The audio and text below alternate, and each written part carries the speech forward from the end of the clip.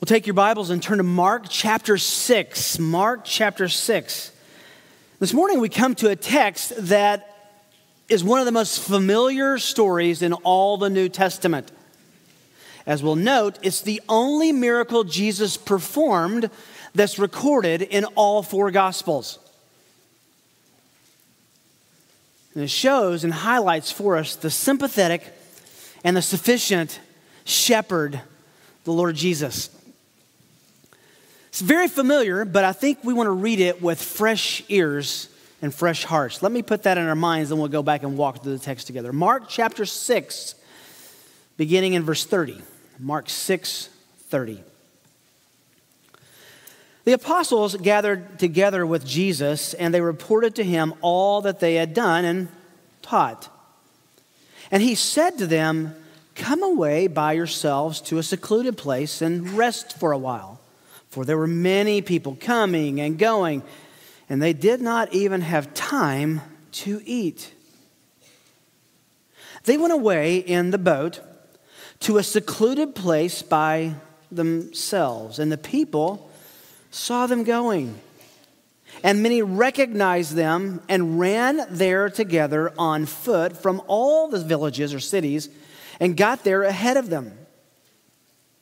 When Jesus went ashore, he saw a large crowd. And he felt compassion for them because they were like sheep, sheep without a shepherd. He began to teach them many things. And it was already quite, when it was already quite late, his disciples came to him and said, uh, This place is desolate and it's already quite late Send them away so they may go into the surrounding countryside and villages and buy themselves something to eat. But he answered them, You give them something to eat. They said to him, Shall we go and spend 200 denarii and, on bread and give them something to eat? And he said to them, How many loaves do you have? Go look. And when they found out, they said, Five and two fish. He commanded them all to sit down by groups on the green grass. And they sat down in groups of hundreds and of fifties. He took the five loaves and the two fish, and looking up toward heaven, he blessed the food and broke the loaves and kept giving them to the disciples to set before them. And he divided up the two fish among them all. They all ate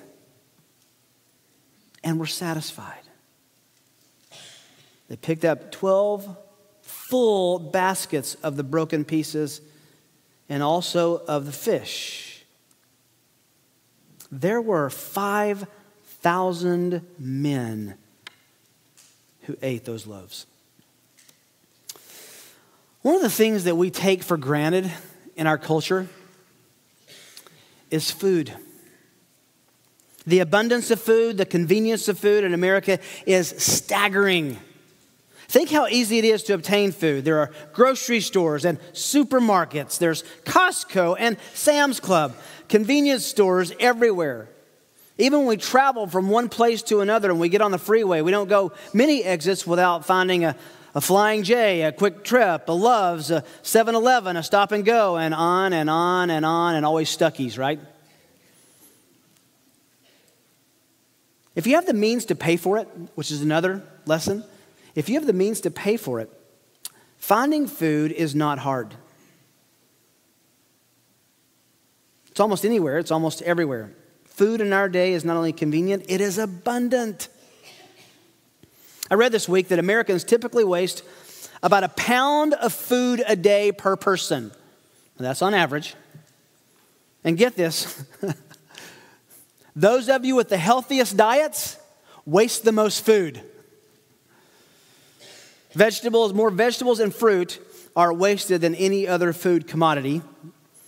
About 150,000 tons of food is tossed out in the U.S each day, which is the equivalent of a, to about a third of our calories that we need. Americans don't really understand the problem of food not being convenient.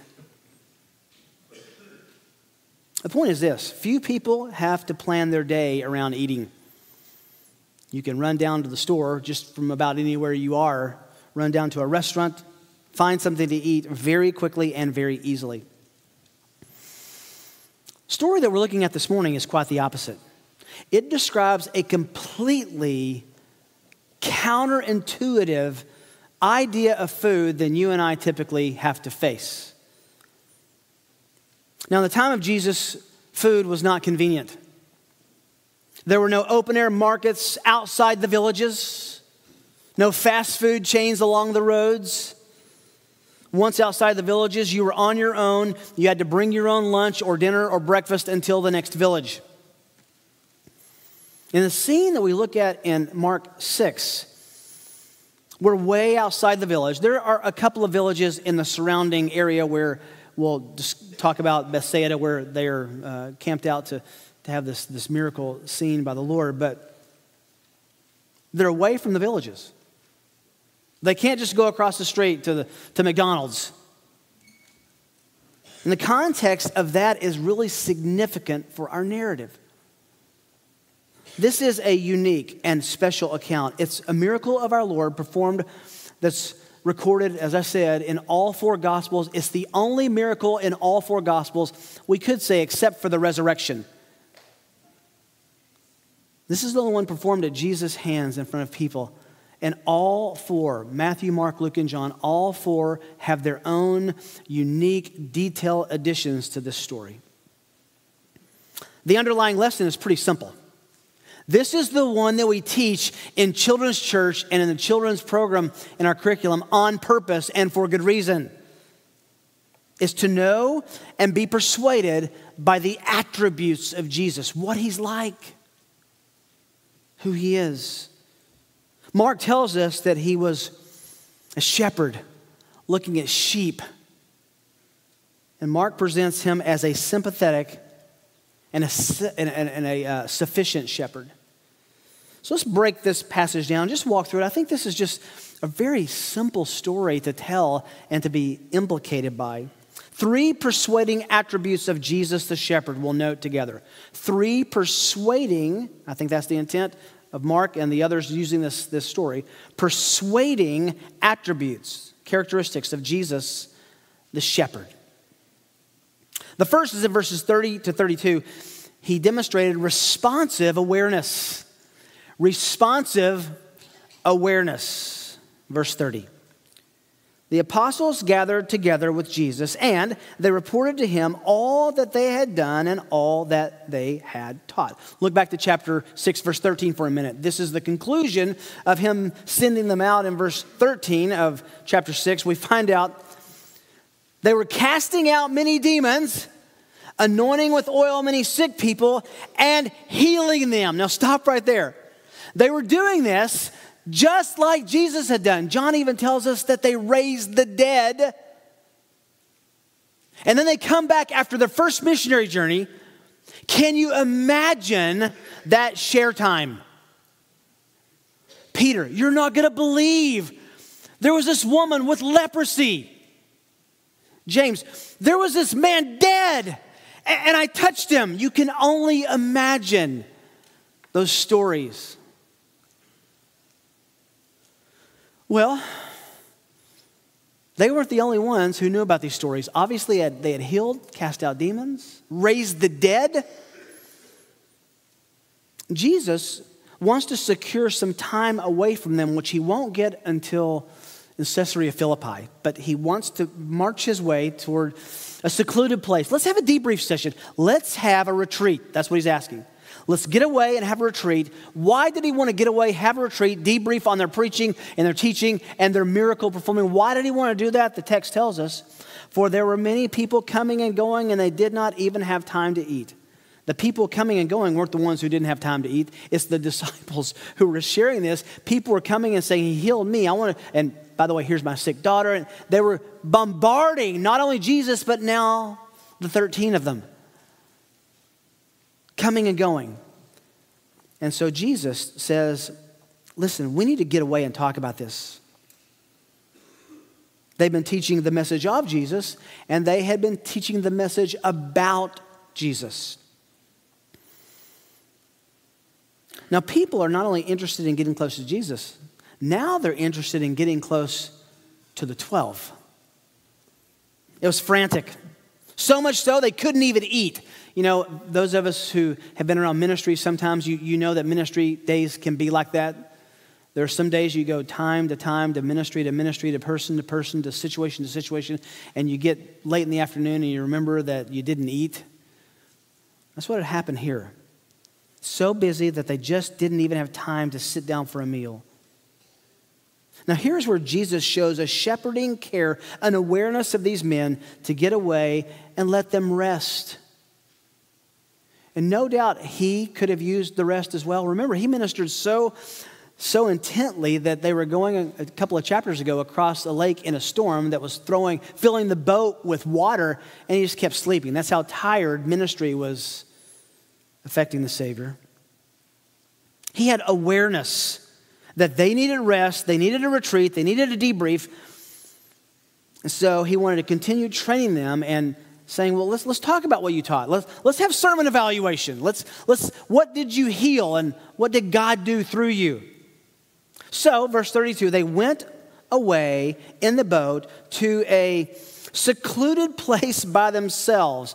You could actually translate that a private place where they wanted to be by themselves, because as we'll see in the next verses, they didn't end up being just by themselves. Secluded means a deserted place. Some translations call it a desert. It, it, it wasn't a desert, it was very plentiful. There were, there were uh, um, uh, crops planted all over that region in Bethsaida.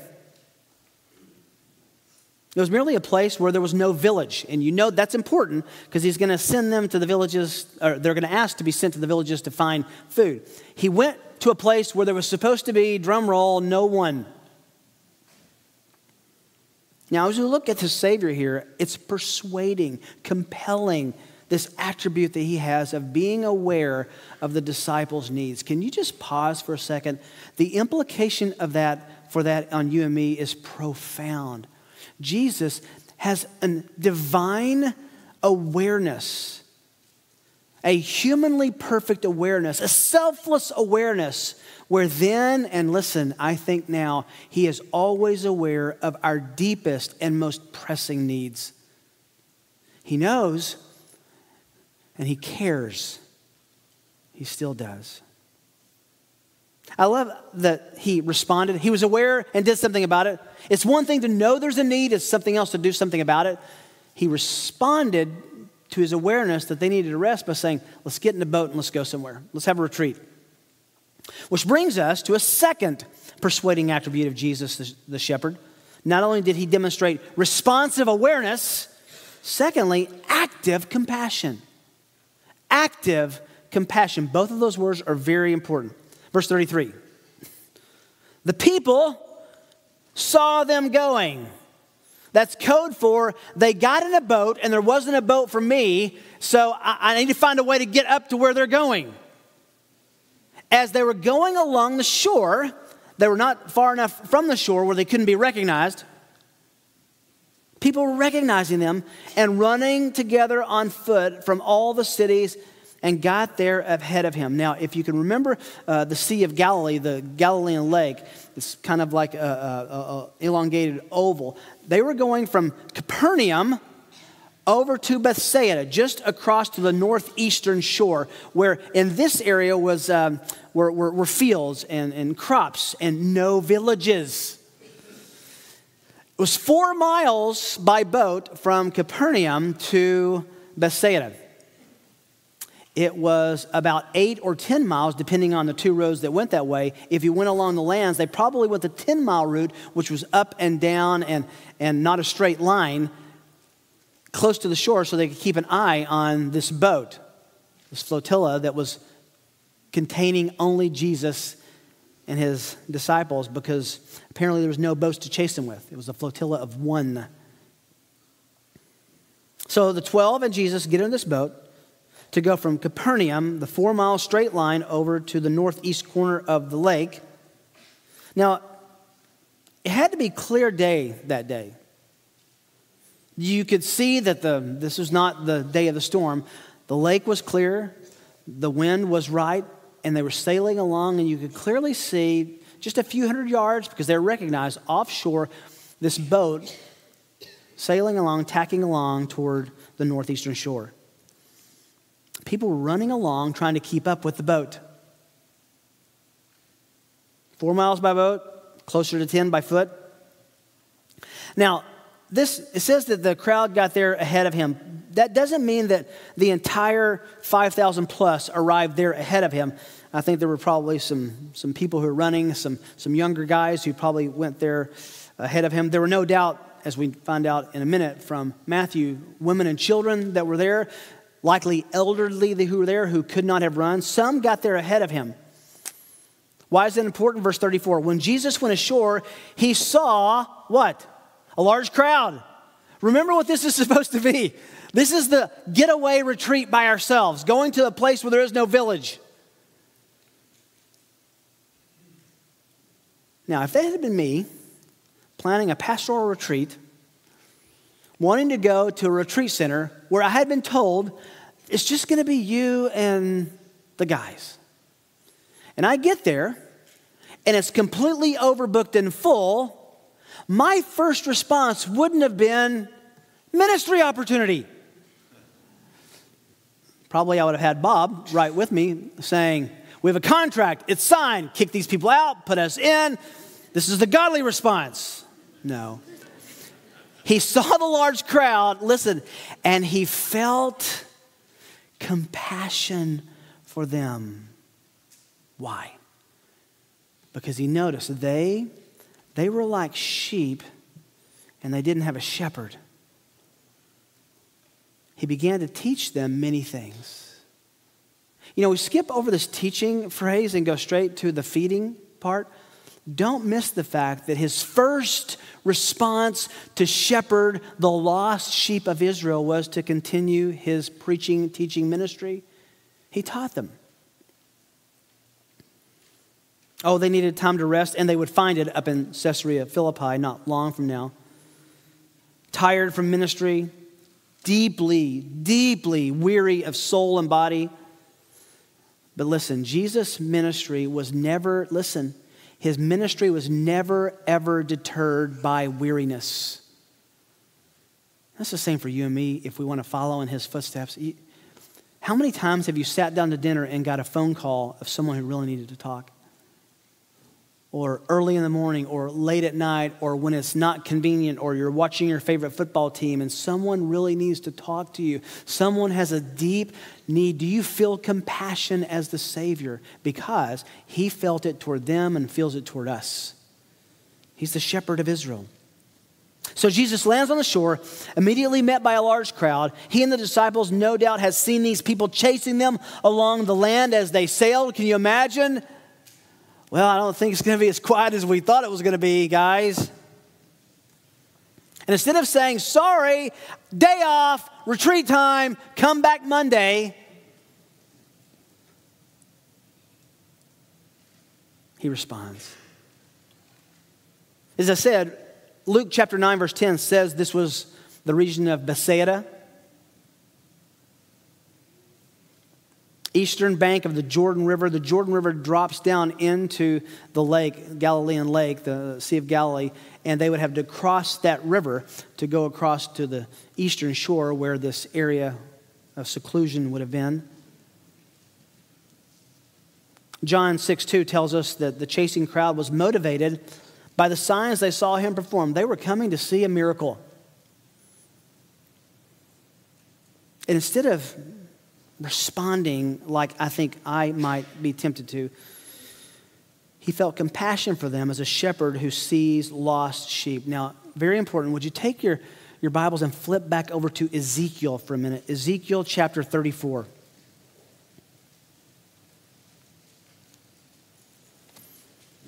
I think this is important because this is an actual fulfillment of what's promised in this chapter. Ezekiel 34, one of the most surprising um, texts in all of the Old Testament, maybe in all of Scripture. Ezekiel 34. Then the word of the Lord came to me, Ezekiel says, saying, Now what comes next would have been utterly unexpected. Son of man, prophesy against, now if you rewind the tape, against uh, the nation, against um, uh, uh, the sinners, against the wicked, against those who are persecuting Israel. Here it says, prophesy against the shepherds of Israel. The prophet was called to prophesy against and confront the shepherds of Israel, the spiritual leaders. Prophesy and say to those shepherds, Thus says the Lord God, Woe, shepherds of Israel, who have been feeding themselves. Should not the shepherds feed the flock? You eat the fat and clothe yourselves with the wool. You slaughter the fat sheep without feeding the flock. Those who are sickly, you've not strengthened. The diseased, you've not healed. The broken, you've not bound up. The scattered, you've not brought back, nor have you sought for the lost. But with force and with severity, you've dominated them. They were scattered for lack of a shepherd. They became food for every beast of the field and were scattered. Then God says, My flock. Wow, my flock. God says, My flock wandered through all the mountains on every high hill. My flock was scattered over all the surface of the earth. There was no one to search for them, no one to seek them. Therefore, you shepherds, hear the word of the Lord. As I live, declares the Lord, surely because my flock has become prey, my flock has even become food for all the beasts of the field for lack of a shepherd. And my shepherds did not search for my flock, but rather the shepherds fed themselves and did not feed my flock. Therefore, you shepherds, hear the word of the Lord. Behold, I am against the shepherds. That's fingernails on the chalkboard. God is against the pastors, the shepherds. I will demand my sheep from them and make them cease from feeding the sheep, so the shepherds will not feed themselves anymore, but I will deliver my flock from their mouth. God will deliver the people of Israel from the bad shepherds, which would have been Pharisees and scribes and lawyers and Sadducees, so they will not be food for them. Then, verse 11. And I won't take the time to read the entire rest of the chapter, but please do. He basically says, I myself, verse 11, will search for my sheep and seek them out. In Mark 6, you see the fulfillment of that promise. Back to Mark 6. He looked at them as sheep without a shepherd. He had compassion on them so begins to teach them. He immediately and actively shifts into ministry mode. His compassion was active, so he didn't tell them to go visit their rabbi. He taught them himself. But no one expected what's about to happen next, which is really the climax of the story. Mark includes this, so does John and Matthew and, and um, um, Matthew, Mark, Luke, and John. We'll say it that way. He, they include this to persuade us. Look at what Jesus is like. Isn't he compelling to know, follow, and trust? He has responsive awareness, he has active compassion. And now, number three, he has supernatural power. Supernatural, think about that word supernatural, something beyond nature. Now, as we said in Bible times, food and water, basic sustenance was not only a major challenge to obtain, but obtaining nutrition and hydration plays an ongoing role in Old Testament narratives. How many times do we see God entering in when there's a famine? No, no food, right? In Exodus, Exodus chapter 16, you can turn there sometime and read that. God provides for the, those in the wilderness journey, the wilderness wanderings. They, they, they ran out of food. They were literally out in the desert no food, no water. He actually gives, gives them bread. It rains bread from heaven called what? Manna, good. Rains manna, rains bread from heaven. They complain about that. He gives them quail in the evening. He gives them bread and meat, and then he gives them water from a rock. Don't miss this. The Jews of Jesus' time understood that when there was a problem with hydration and nutrition, God had in the Old Testament supernaturally delivered on that need. And if Jesus was going to demonstrate that he was God, this would be a significant point to prove in doing the same. I think it's interesting, by the way, in 2 Kings chapter 4, you can just listen. 2 Kings 4 42 to 44.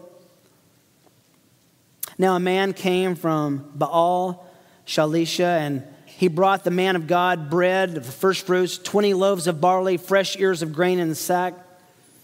And he said to them, Give to the people so that they may eat. This is Elisha, obviously. His attendant said, What? Will I set before a hundred men? Can I set what you have in one meal before a hundred men? but Elisha said, Give them to the people so they may eat. For thus says the Lord, they shall eat and have some left over. So set it before them. They ate and had some left over according to the word of the Lord. Now, these were smart Jewish people who were regular in synagogue who knew this story. And what they're about to see is a greater, triumphant recasting of the same provision of God. Very familiar narrative to the Jews. They knew that God, Yahweh, was sufficient kind. He was the provider. He was the one who, get this, could create and multiply food. He created it here. Remember when he, in 2 Kings chapter 4, when he uh, pulls the widow in with her sons, and there's the creation of that olive oil. Olive oil is a carbon based organic substance, and they cre- he created it. They filled up all the, the jars that they had borrowed to pay off their debts. God has proven that He can create and multiply and manipulate and control His natural world. By the way, this multiplication and this creation, both are about to take place. Verse 35. When it was already quite late, that's another, it's a euphemism for saying it's getting sunset, sundown.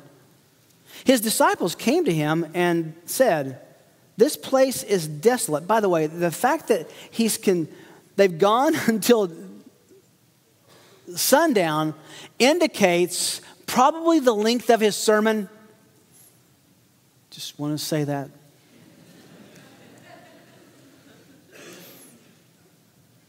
Sun is setting. They say, Lord, this place is desolate.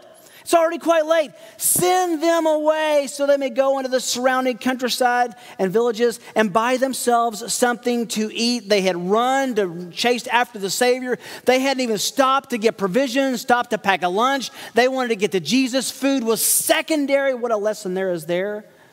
So attracted to Christ that food becomes secondary. That's genuine fasting, by the way. Lord, send them away. They're going to get hungry. We're the leaders of this show, and they're going to expect us to provide. But, verse 37, he answered them, You give them something to eat. Now, stop right there. Why is that important? They had just given the report and were going to give another report of what they could do in his name. So he's basically saying, You take care of it. Another way of saying that is you've demonstrated supernatural abilities by proxy. I've given you these. Feed them. Ah, the disciples. Instead of saying, Yeah, we have been given power by you, maybe we could do something, they say, Shall we spend 200 denarii, which would not have been enough to feed that many people, by the way, on bread and give them something to eat.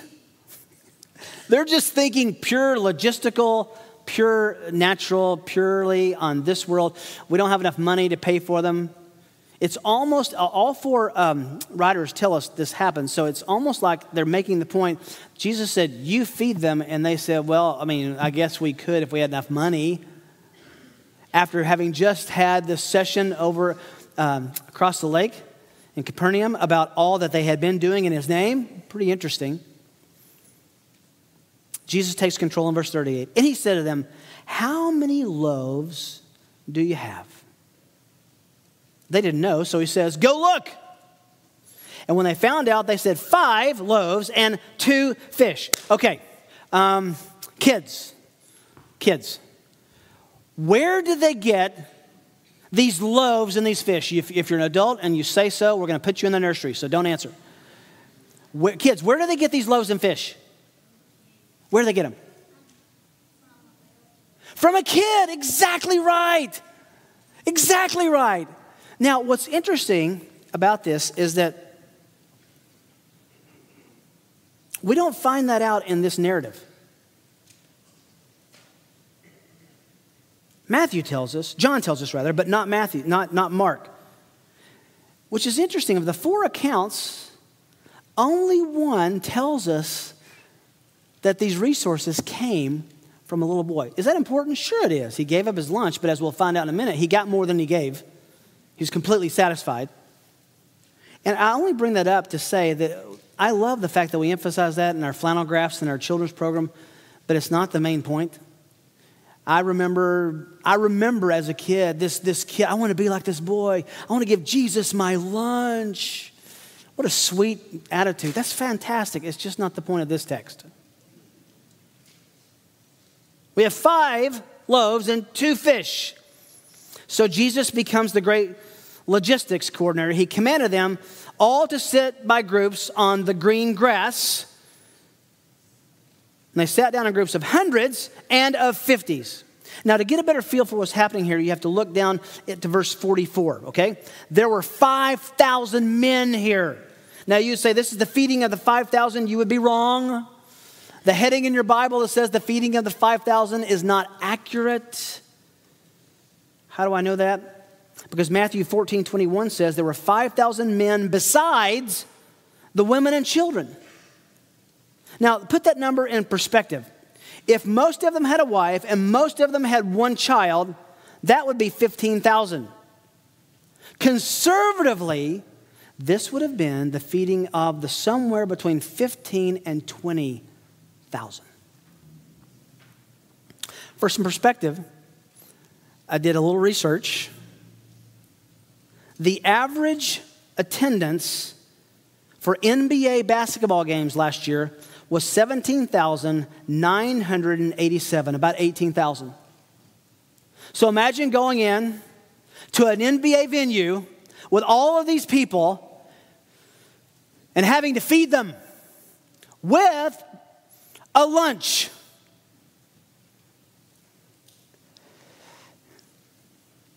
By the way, people say, well, how did they know how many people were there? How could they count? He divided them into these, these groups and could say, well, there's 100, there's 50, there's 100, there's 50. It's easy to add up at that moment.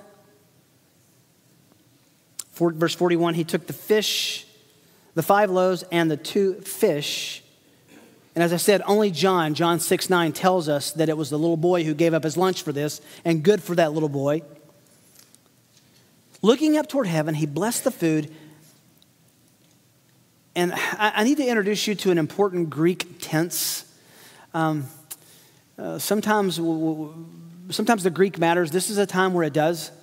Uh, it's an imperfect tense, which means something that's done with an ongoing fashion. It's not something you do once and you're done. And, and so, if you were to translate this, he blessed the food and was in the process of breaking it over and over and kept giving it over and over to them for the disciples to set before them.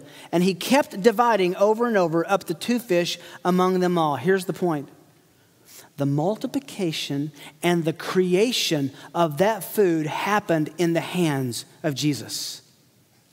Now, could he have just waved his hands over these baskets? Absolutely. But the text tends to give us every indication that he was breaking and it was growing back, breaking and it was growing back. He couldn't, He couldn't exhaust the food he was breaking apart.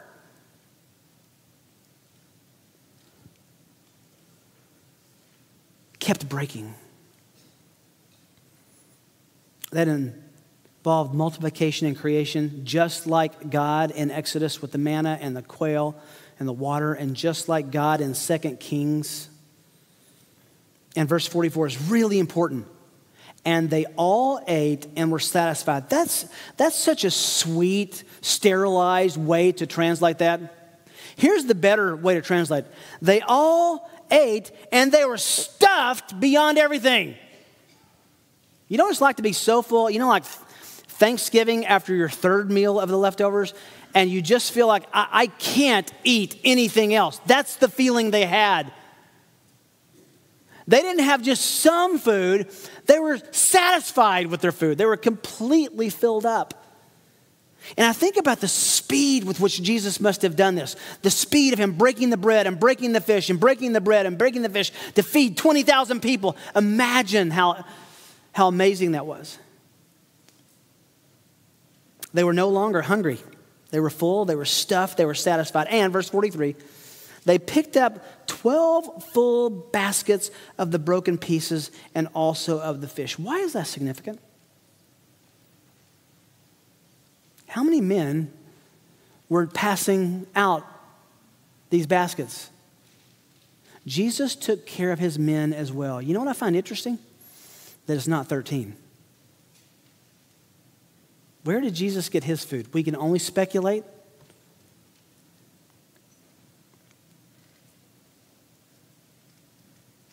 fish and the bread was left over, just like in 2 Kings. And there were 5,000 men and also women and children. Now, I've tried really hard, as you know, and I, I want to confess, one of the difficulties in preaching through a gospel is to preach the text that's before us and not the event that's recorded in other places. Uh, that's the challenge every week I have. But sometimes I think it's important for some perspective to, to borrow some perspective from one of the other gospel writers. John tells us that the people knew what had happened. Somehow, some or most of them had watched him break a piece of bread, give half of it away, and it was equally the same size when he, go, when he went to break it again. They'd seen this happen. Verse chapter John chapter 6 verse 14 says, therefore when, the, therefore when the people saw the sign which he had performed, they said, this is truly the prophet who has come into the world. So, Jesus, perceiving that they were intending to come, take him by force, and make him a king, withdrew again to the mountain by himself alone. Remember how we see this um, over and over in Mark this, this command to silence he raises a man's daughter from the dead and says, Don't tell anybody. He heals a man from leprosy and says, Shh, don't tell anybody. Why?